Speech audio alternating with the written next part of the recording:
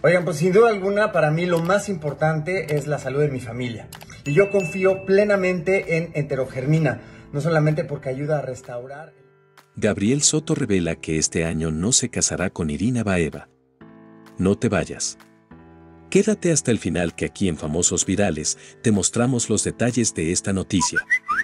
Gabriel Soto e Irina Baeva son una de las parejas más sólidas del medio artístico, sin embargo, desde que se comprometieron el 25 de octubre de 2020, justo el día del cumpleaños 28 de la actriz, no han podido consolidar su sueño de unir sus vidas en matrimonio. La pandemia de coronavirus provocó que los intérpretes planearan el esperado evento hasta el 2022, siendo la primera fecha tentativa el pasado 14 de mayo. No obstante, tras pasar este día, la artista rusa confesó que esperaban tener su enlace en agosto y septiembre, destacando que tal vez ya no podría celebrarse en Acapulco, destino predilecto de los actores, debido a la temporada de lluvias y huracanes. Un par de meses después de dichas declaraciones, el actor mexicano confesó que desafortunadamente su ambicionada unión no tendrá lugar este año.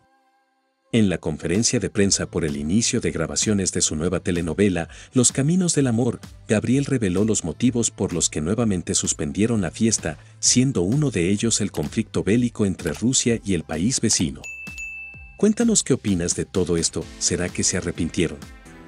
Luego de que Irina explicó anteriormente que a pesar de que su familia puede salir de Rusia, el restringido espacio aéreo europeo limitaba las opciones de viaje e incrementaba los costos del mismo, ahora Soto compartió sobre una conversación que tuvo su prometida con su padre. Ella habló con su papá y le dijo, mira, de aquí a un año definitivamente no podemos, no vamos a salir. Posteriormente, Gabriel recalcó que la situación incierta que enfrenta el país natal de su prometida por la guerra provoca que sus allegados no quieran aventurarse a viajar. Sin sus papás aquí pues para qué hacemos boda, detalló. Por si esto fuera poco, el mexicano explicó que su nueva telenovela, Los Caminos del Amor, también influyó en que pusieran en pausa los preparativos de su enlace nupcial.